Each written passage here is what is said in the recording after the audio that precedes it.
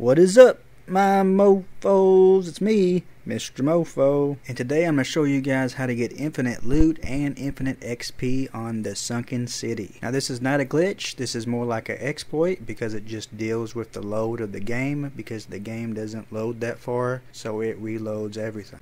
Now you will need to find a infested area, but this does work with any location but this is the one that I'm using because this is the one that I find that's best. But there are others that are just as good. This is just one location. So I am going to show you this area, but I've already cleared out all of the sea monsters. So if we go into our investigation mode, there's a box, there's a box, there's a box, and there's one over here, but this one doesn't always respawn, but those three always do, and you may have something on that box right there.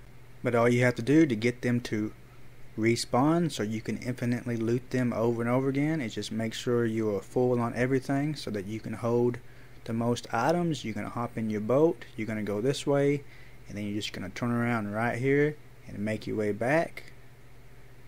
So that's all you have to do guys. And then when you get back over here just park the boat like this and then get out and all of those boxes will have all of the loot back in them. So we're just going to loot them loot that one, we're going to loot that one, and then loot this one. Now this other loot crate over here is not even worth your time because it almost never respawns. But now we're just going to do it again. Now this works on any of the loot boxes. You just have to get far enough away and then come back and all of the items will be back in the box. Now you can also use this to respawn all of the enemies. We just go a little bit farther or they may just automatically respawn each time. So you can use this for infinite XP because all you have to do is kill all of the enemies and you get all of the loot to get all of your bullets and all of your health back and then just repeat.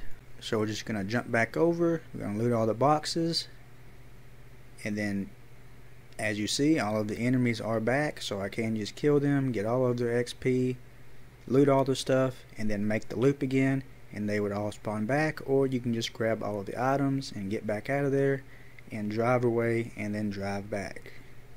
But just make sure that you craft all that you can so that you can hold the most items and you're not just wasting your time. But like I said guys, this can be done at any of the locations. You just have to make sure you get far enough away so that it messes with the spawn and then you turn around and come back.